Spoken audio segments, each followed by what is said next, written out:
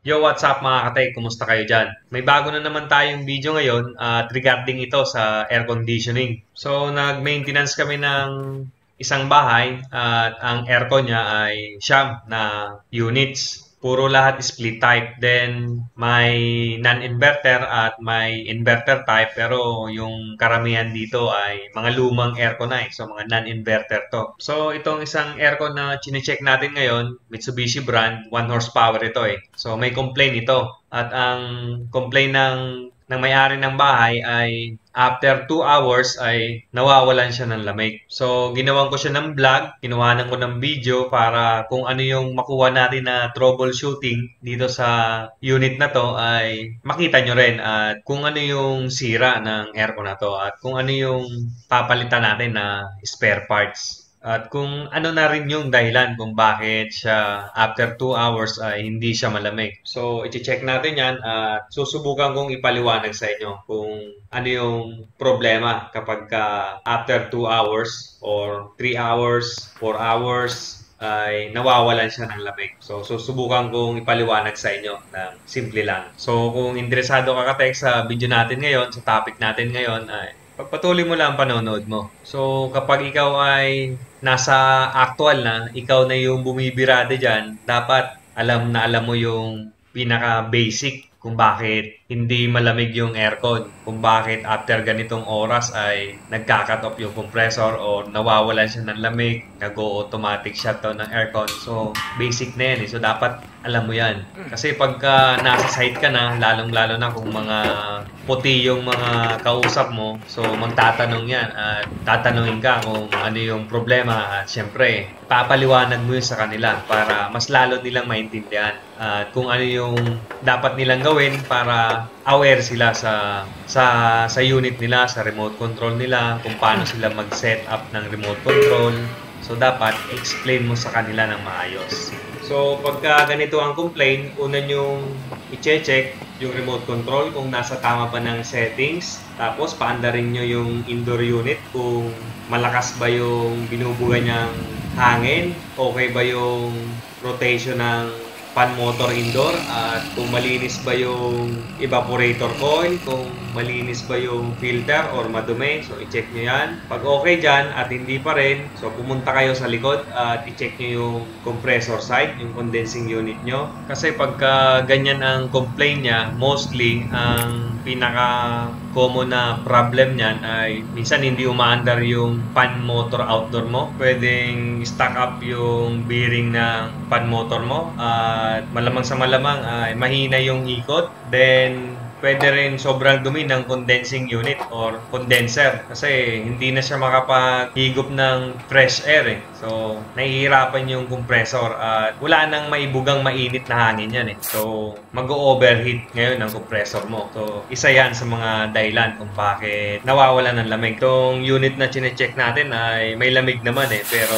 after ilang hours ay nawawala ang lamig niya. So, doon ka na magpo-focus sa, sa condensing unit. Kasi ang ang tendency niyan pagka wala kang pan sa likod, hindi gumagana yung pan motor outdoor mo or sobrang dumi ng condenser mo, ay tataas ang amperahe mo niyan eh. So, ang mangyayari niyan, so tataas siya ng tataas hanggang sa ma-reach niya yung maximum ng ampere ng unit na chinecheck nyo. So, bibigay ngayon yung overload protection ng compressor motor. So, usually pagka overheat na yung compressor motor ay mag-open yung common connection mo dyan eh, yung common terminal mo. So, mawawalan siya ng resistance. So, ibig sabihin, sobrang init na ng compressor motor mo. So, kailangan mo siyang palamigin or i-cool down para bumalik ang dati niyang resistance ng common winding mo. So, itong unit na chine-check natin, pagka akyat ko pa lang dito sa taas, ay nakita ko na kagad na medyo slow yung ikot ng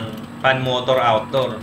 So, ang tendency niyan, tataas yung amperahe mo eh kasi sobrang hina na ng sobrang hina ng airflow eh. Wala nang higop. Meron siyang higop pero hindi na gaano kalakas. So, ang mangyayari niyan, ang pinaka-tendency niyan ay iinit nang iinit yung condenser mo. So, magkukos siya ng high ampere. So doon na tayo magkakaroon ng compressor overheating. Oo nga, tama naman yung may-ari ng bahay. So malamig nga siya sa una pero tatagal ito ng tatagal ay mawawalan siya ng lamig kasi mag-overheat na yung compressor nito eh. Pagka hinayaan na tong ganito na sobrang hina ang ikot ng pan motor outdoor. Okay naman yung refrigerant pressure niya eh, yung karga niya okay naman. Pero sobrang taas nga eh, dapat ito mga pagka mga 1 horsepower ay mga 70 PSI to 80 PSI. Pag mga bagong kabit, mga ganyan ang mga karga niyan eh. So ang nakuha natin na current cooling actual ampere ay 5.0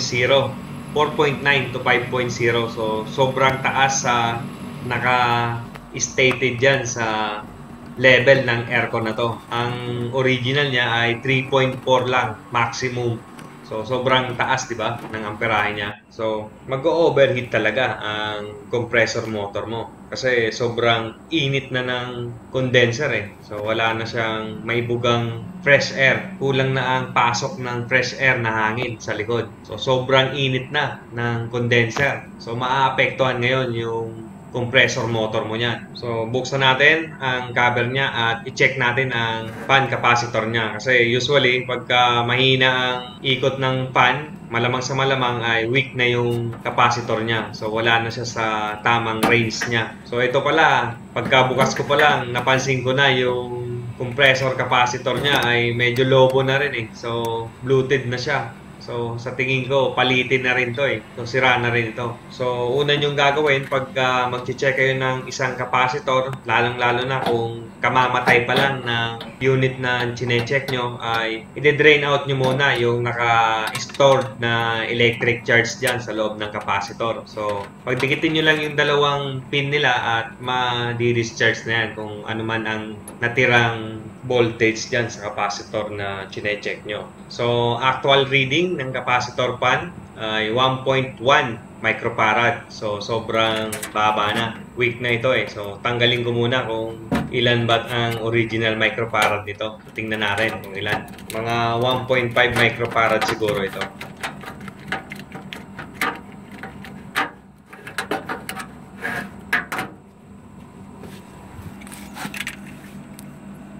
Hindi, 1.8 nga pala to eh. So, kung burado na yan, ay pwede nyo tingnan yung mismong pan motor outdoor. So, meron doon naka-sticker sa wiring connection niya, sa wiring diagram niya na kung ilan ang microfarad ng capacitor ng motor na chinecheck nyo. Pwede nyo silipin dyan kung hindi kayo sigurado. So, ito 1.8 microfarad. Parang wala akong stock nito eh. 1.5 meron pero 1.8 wala. Parang dos yata yung nandun eh sa sasakyan natin.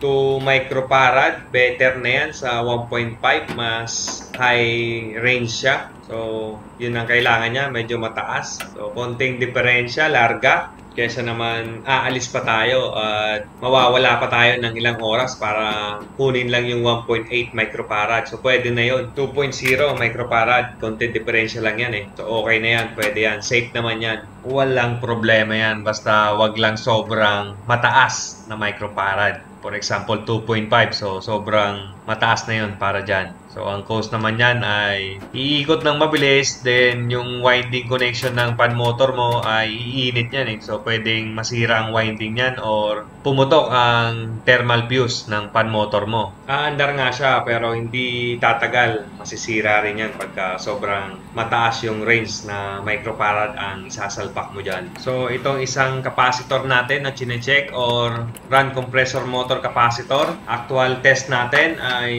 0 microfarad microfarad.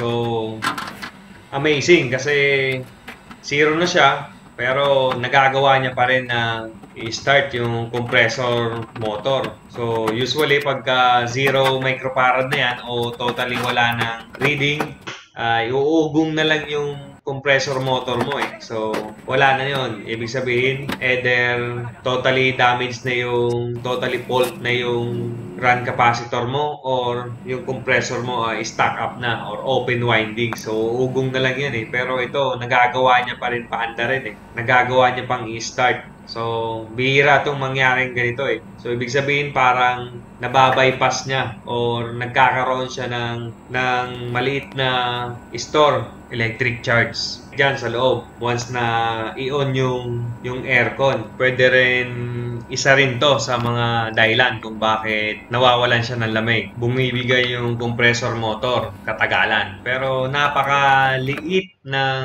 tsansa na mangyari itong mga ganitong bagay so Usually kasi pagka weak na yung run capacitor niyan ay or 0 microfarad ay hindi na talaga aandar yung compressor motor mo. So ugong lang yan. So makakarinig kayo ng hard starting ng compressor motor. So ibig sabihin ay fail na siya or wala na sa tamang range ng microfarad. So, palitan na lang natin ng dalawang capacitor at medyo may kalawang yung isa kong capacitor pero brand new yan eh. Medyo kinalawang lang ng kaunti. So, sana maging okay na siya pagka napalitan na natin. Ito, tinetest run ko na at bumilis na yung ikot ng fan motor natin at okay na. Maganda na yung hangin. Hindi na gaano mainit uh, tingnan natin yung ampere ngayon, yung actual na amperahe niya. So, ayan, bumaba na siya. Kanina is 5.0, di ba? Kasi mahina yung fan mo eh. Sobrang init, hindi makalabas yung init. So, ito naman yung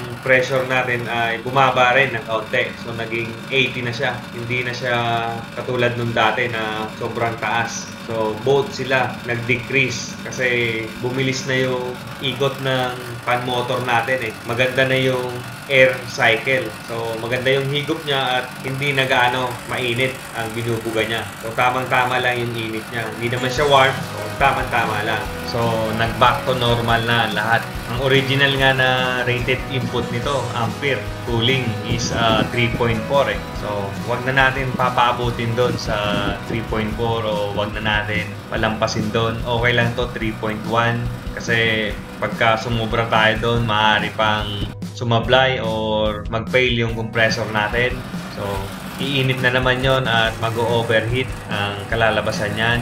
So, wag kayong magtitiwala sa reading kung ano yung nabasa nyo na actual pressure niyan sa gauge manifold nyo. Kasi minsan mataas yan eh, minsan mababa eh. So, kailangan pinaka-importante talaga na gamitan nyo ng clamp ammeter. So, dun yung masusukat yan eh kung sobra kayo sa karga or kulang kayo sa karga ng refrigerant. So, napaka-importante gamitan nyo ng clamp ammeter mga katek. Hindi porket na mababa yung reading na nakuha nyo pressure sa manifold gauge nyo ay magkakarga na kayo. So, hindi ganon. So, kailangan i-check nyo muna yung amperahe ng unit na chine-check nyo. So, para hindi ma-overcharge ang unit na chine-check nyo. Kasi sayang ang trabaho eh, sayang ang effort nyo, sayang ang pagod nyo. Kung pabalik-balik lang kayo sa sa site ng ginagawa nyo, di ba? Hindi nyo naman pala chine-check ng maayos. So, paano makakatek hanggang dito na lang ako? Naway nabigyan ko kayo ng kahit konting ideya man lang sa topic natin ngayon. At maraming maraming salamat sa panonood ninyo. At hanggang dito na lang ako. Hanggang sa muli. Paalam!